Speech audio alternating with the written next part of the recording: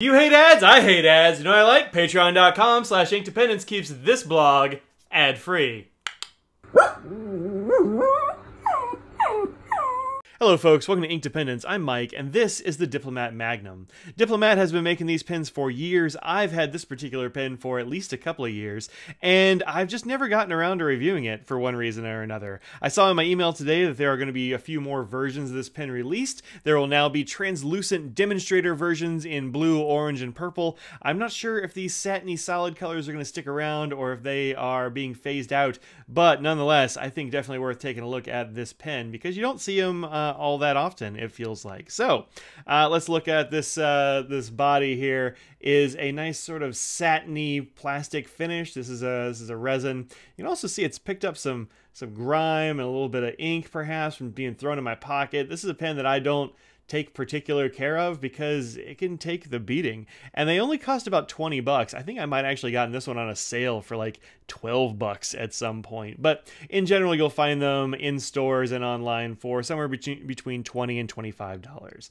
So, satiny plastic, uh, pretty nice springy clip. This one obviously hasn't sprung on me. It's good for putting on all kinds of pockets or shirt plackets or sticking on the front of a notebook or something. And as you can see, this thing is nice and tight and springy, but not so tight that you can't get it on clothing. And even though the end here is just square, it does have a nice bit of a, uh, a ramp, so you can get it on a get it on a piece of paper if you want to. The clips and cap bands on these models are sort of satiny, but the new ones look as though they are more of a polished chrome look, which is totally fine and uh, I think looks good on those demonstrator pens. I do like the, the satiny feel here. And you also have Diplomat here on the clip and then Germany up here at the top of the clip. You have a nice sort of plastic black finial up here. It's picked up some scratches and stuff, but like I said, this is a this pen is a little bit of a beater. So definitely uh, just, just chuck it in your pocket pen. You have an ink window here, which will let you see your ink level. This one is nice and fresh. I just popped a new cartridge in here yesterday, and uh, know, standard international cartridges. Also will take a converter if you like converters. But uh, yeah, cartridge works totally fine in here with no problems.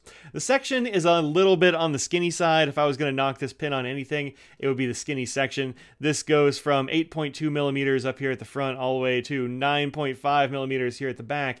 But it's also a little bit deceptive because as you can see there are flat sides. This is encouraging you to hold in a sort of traditional grip here, but that also means that it's it's thinner here where you're gripping, and it's also very difficult to measure with a thing like calipers without doing a bunch of maths, and I'm not going to do maths on it, so there you go. It's about, uh, I don't know, probably 9 millimeters, maybe 8.5, give or take, in this area here. And that's a little bit on the skinny side for me. I prefer it to be around 10ish, but I haven't had any problems writing with this pen in the whole length of time I've had it. You can also see the nib here is a, uh, a number 5 nib, and it's also got a sort of satiny look to it. The new ones also look as though they're polished. This one says uh, says Diplomat, it says Magnum, and it says Medium. I actually remember these pens only coming in mediums, but looking at the store pages right now, it seems that they're going to extra fine through broad, so all the various nib sizes. And these are number 5 JoWo nibs, so they're going to be solid nibs uh, usually right out the box. I've also had no problem with the flow. This is a little bit of an, a non-typical uh, feed here. I haven't seen this feed on other pens as far as I know, but uh, no problems keeping up. Also, it looks like there's a crack here. Uh, it's not. I just just running my finger across that. It's actually just a seam in the plastic, the injection mold, I guess. Uh, does it post? Yeah, totally posts and it posts pretty well because it's a very very light pen and a light cap weight capped on this thing is about half an ounce which is uh, 13 grams give or take and so very light uncapped though it is 0.2 ounces or 6 grams which is just kind of it's barely there. It is extremely light. So if you like a very light pen or you want a pen that's going to go in your pocket and you can kind of forget that it's there because you're not constantly feeling it bang against your leg or whatever, this is a solid pen for that. Okay, let's do a little bit of a writing sample, show it next to some other pens, and uh, at the very end I'll throw up a graphic with some measurements and things of that nature. Okay, let's do a writing sample. This is uh, that Diplomat Magnum.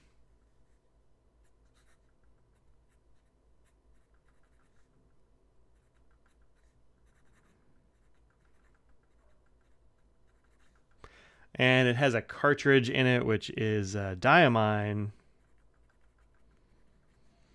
Uh, Burgundy Royale.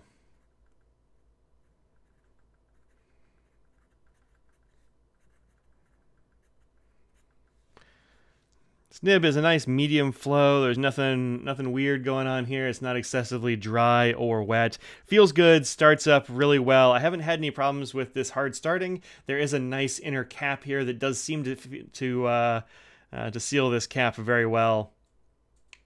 Nice little soft click. It's not going to be up there with the loud clickers and that sort of thing, but it definitely does hold the cap on, and it feels good. Feels good. All right, let's look at this next to a bunch of other pens.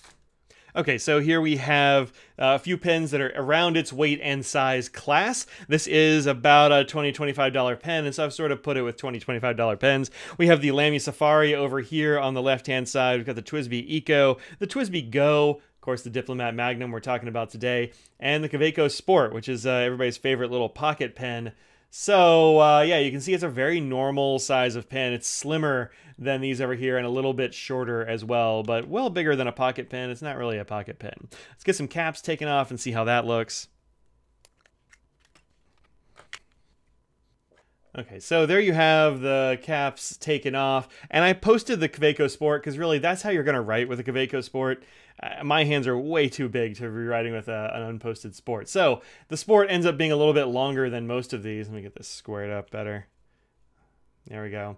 Uh, ends up being a little bit longer than most of these. It's in the same realm as the Eco and the Safari. Uh, the Go and the Magnum are uh, in the same area, but you know, within a millimeter or two for all of these. And I think that's a perfectly fine size for writing. I've never had a problem writing with any of these. So there you have it.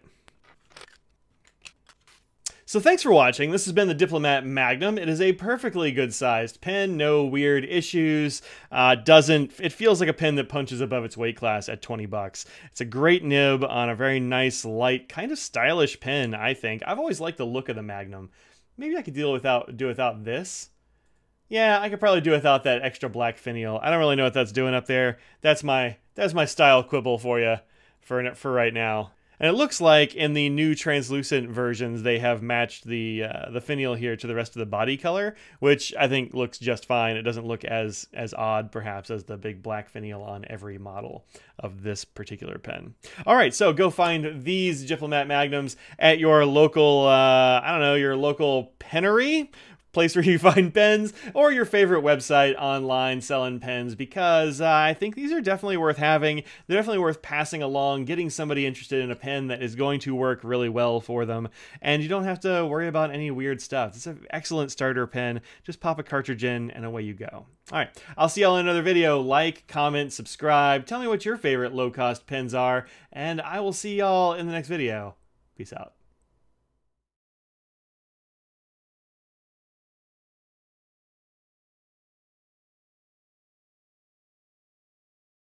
Inkdependence. I'm Mike, and today we're taking a little. Dependence. I'm Mike, and this